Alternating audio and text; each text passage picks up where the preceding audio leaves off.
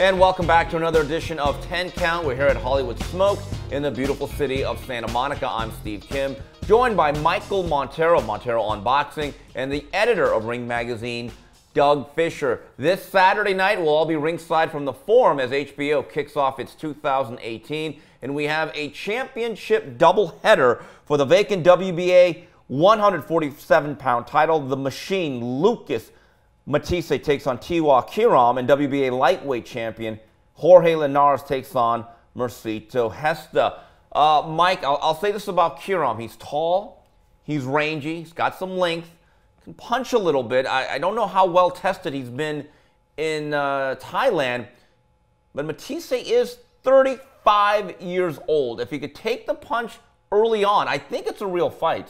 I, agree with you. And, you know, we get these fighters coming out of Thailand, sometimes from South America, whether it's Venezuela or Colombia. The records look great, all knockouts, and we don't know until they come up here and, and they fight. And sometimes they surprise us and they're the real deal. We'll find out. Um, Kiram's a lot bigger, stronger, younger. And for Matthysse, he's only had one fight since that knockout loss to Postol back in 2015. He looked good last year in Vegas, right, with that win. Emmanuel Taylor. Right. It was a good quality professional prize fighter. He looked very, very good in that fight. But Taylor not as big and strong, and at least on paper, not as powerful as Kiram. So it'll yeah, be interesting. Taylor's more of a yeah. natural junior welterweight. Exactly. But exactly. a serviceable guy, exactly. like a fringe contender. I mean, he gave Adrian Broner hell for 12 rounds. Right. But uh, Doug, you went on record on your mailbag. Yeah. You, are with me. Me and you are going to be very embarrassed, or we're going to look like geniuses come Saturday night. You think right. Kiram is a live guy here? Well, yeah. Here's the thing. I mean, I'm going on the reputation of Thai fighters yeah. and my experience being ringside often.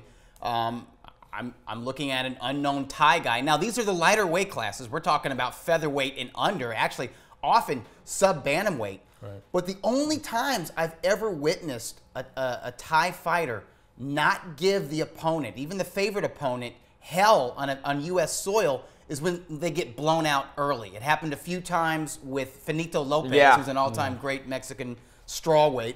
Uh, and it happened once with uh, Jorge Arce oh, yeah. um, at like flyweight or something like that.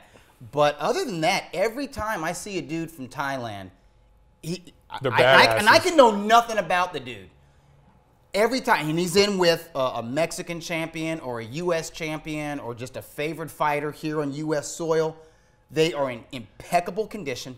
They are durable as hell. They're willing to take five to land one and they bring the ruckus. Yeah. So I'm I'm expecting that in a 147 pound package. We know this about Thai fighters. There's three things that stand out. They all have big legs. They all have very long names we can't pronounce. and number three, as you said, they're all tough. I mean, from Terdsak Jandaeng. Oh my uh, God! Uh, this guy gave Marquez hell. We were there in Lake Tahoe That's about right. seven, eight years ago. Uh, I remember Jimrex Jaca also gave a couple of our guys, I believe Marquez, Saman Sorjaturong, pulled off a huge I witnessed upset. him knock out. That was Ring Magazine's. Fight of the Year 1995 at the Forum, ironically. Um, Chiquita Gonzalez is in the Hall of Fame. This is at junior flyweight, and Sorjaturong was given no shot because he'd been blown out early by yeah. Finito Lopez. Mm. And they went to war for eight rounds. And he, he, he, he got up from a knockdown. He put Humberto Gonzalez down and then stopped him. And also, and then reigned for like 10 title defenses. And by the way, the other guy that we forgot, Srisaket Sor Rungvisai. I, I mean, how I, about that dude? I mean, that guy yeah. is, your, is your classic Steve, prototypical Thai fighter. Going into that first fight with Chocolatito, people were saying, "Why is Chocolatito fighting this tuna?" Absolutely. What, Absolutely. Who is this guy? What's he ever accomplished? Don't be blind, folks. The there's, there's badasses from a lot of areas on this, this great planet Earth, and many of them come from Thailand. Uh, Thailand, the way that they train, and I don't know if it comes from the Muay Thai. Um, this guy's from legacy, a Muay Thai background, not they the roll system. with punches. They, yeah. they have a, a, way of seeing a punch coming, and they'll eat it. They'll take it. And to the naked eye, they're taking a punch, but they roll with it in a way that carries the momentum, and they're able to absorb punishment, and they stay in position to punch back. Mm -hmm. And that's what we saw between. Um, uh, Rungvisai and Gonzalez in that first and well the yeah. second fight that was a whole different story. Yeah, also the co-feature on the night Jorge Linares takes on Mercito Gesta. As I said on another show, Mercito Gesta was supposed to be the next Pacquiao. Hmm. And he has been Bobby, not Manny. uh, I, I, think he's got 36 minutes here. Listen, I like Mercito. I think he's a solid fighter. I've always gotten the sense, though, he's never emptied the bucket Um, never given full effort where he says, I can't give you any more. If he's ever going to do it, he better do it now because he, I think he's got one shot to make his career worth something on Saturday night.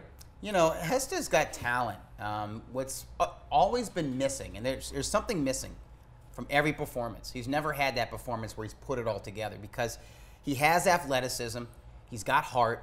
Um, there are, are flashes of skill and ring generalship that are impressive, but you never see it all at once. Uh, you never see him work for three minutes of a round. Um, if he has a good round, often he takes the next round off. It's kind of like he falls asleep at the wheel a little bit. And I chalk it up to just um, a, a, a lack of foundation. He did not have an amateur career. He basically learned how to box as a pro, and he does really well. I mean, he's a fringe contender because he's talented and he has desire. But, um, you know, Jorge Arce had that amateur background, came from a fighting family, a boxing family, um, and he knows his P's and Q's. Now, he is a vulnerable dude. He has, his skin busts up, his chin is not world class, um, and, and Gesta can punch a little bit, but he has to, in my opinion, fight out of character. He no. has to be the aggressor for three minutes of a round, and I don't think I've it's ever seen that. It's not his mentality. He has a sparring partner mentality. He does. Mm. He reminds me of a lightweight Malik Scott in that sense, mm. where Malik Scott, wow. great skills. reference. Yeah. I know, crazy, crazy reference, right? But it just the, the sparring partner mentality. Mm that's what I see from Gesta. And, and I, I, am sorry. Yeah. You don't change overnight, especially in your mid 30s. I don't see him putting it all together in this performance. I like Linares. Yeah, square pegs don't die round. And, and when, when, Malik Scott was an eight round prospect, I nicknamed him Mr. 80 to 72. Yep. Because every fight he'd won 8 nothing, and you'd be bored to death. Like you knew the guy had some skill, but the temperament did yeah. not match the talent. But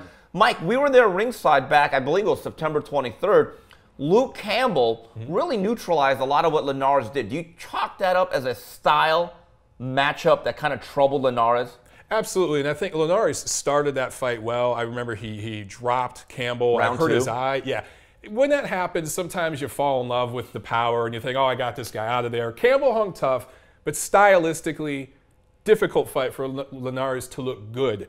I think Gesta is just more made for him prototypically. I just they're both southpaws, but totally different. Campbell's yeah. Yeah. tall, rangy, Olympic gold medalist. Yeah. Let's go back to that amateur background. Cam- Campbell has underrated craft. Yes. I'm not putting him up there as an elite level fighter, but he has underrated craft and experience that Gesta just doesn't have. You know, I'm going to go with the chalk to Linares, and I believe that there should be a once again a mandate, a calling. And I've, I've asked Eric Gomez about this. I've talked to Egis Klimas about this. Lomachenko is moving up from 30 to 35. As of right now, Jorge Linares, for as much as I like him, you kind of look at that resume, it's not it's that poor. great. They both kind of need each other. Mm-hmm. Let, us come together. Let's reach across the aisle like Tip O'Neill. I think that's like a fight, that, that top rank and Golden Boy, they, they need to find a way to make this match up. So you've given up on the Mikey Garcia? Well, Mikey's gonna. Well, Mikey's gonna first. The, the, after Lipinets, he's gonna go. He's gonna move down. to heavyweight. He's, he's gonna, gonna fight Anthony Joshua, and then the winner of Golovkin. Yeah, I don't think that's realistic. It's gonna be Andre Ward's heavyweight comeback fight. no, yeah, I, I, totally agree with you, Steve. Uh, we know Lomachenko's moving up to 135. That's happening in the spring. He's gonna get acclimated with a, a, fight there. But then later in the year, let's do it. And that fight with Linares and Lomachenko. Mm why not put that on ESPN? I think it'd do a good rating. Yeah. And it makes so much sense here in Los Angeles. I think that'd be a fun, fun fight. All right. Well, there you have it. That's it for this segment of 10 Count on behalf of Doug Fischer and Michael Montero. This is Steve Kim saying goodbye, everybody.